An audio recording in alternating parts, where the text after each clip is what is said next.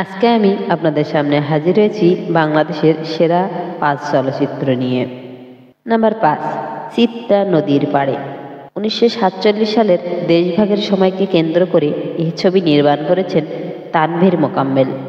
ধর্মের পরিচয় বিভক্ত বিপুল মানুষের দেশবদল, আবেগ, আশা ও অনিশ্চয়তাকে পরিচালক অসাধারণ শৈল্পিকতায় বন্দী করেছেন।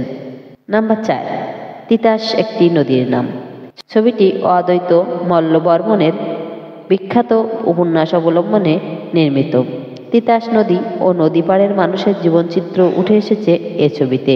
ছবিটি ব্রিটিশ ফিল্ম ইনস্টিটিউটের জরিপে দর্শক ও সমালোচক দুই শ্রেণীতেই প্রথম স্থান অধিকার করে। নাম্বার তিন, ছুটির ঘণ্টা। এই ছবিটি একটি সত্য ঘটনার উপর নির্মিত। ঈদের ছুটি ঘোষণার দিন সবার অলক্ষ্যে স্কুলের বাথরুমে আটকা পড়ে বারো বছরের এক ছাত্র। আটক থেকে মুক্তি পাওয়ার আকতি অমানবিক কষ্টের স্বরূপ পরিচালক তার দক্ষতায় ফুটিয়ে তুলেছেন।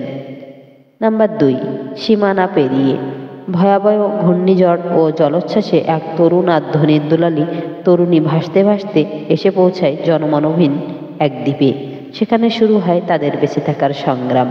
এক পর্যায়ে দুজন দুজনের প্রতি ভালোবাসা তৈরি হয়।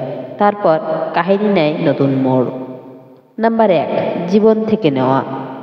জহির রেহান তৎকালীন সময়ে বাঙালির স্বাধীনতা আন্দোলনকে অসাধারণ রূপকথায় ফুটিয়ে তুলেছেন। আমার ভাইয়ের রক্তে রাঙানো গানটি জহির রেহান সরাসরি একুশের প্রভাত ফেরি থেকে ধারণ করেন। আমার সোনার বাংলা গানটি প্রথমবারের মতো কোনো ছবিতে দেখানো হয়, যা পরবর্তীতে বাংলাদেশের জাতীয় সংগীত হওয়ার গৌরব অর্জন করে। ভিডিওটি ভালো লাগলে সাবস্ক্রাইব করে পাশে থাকবেন। ধন্যবাদ সকলকে।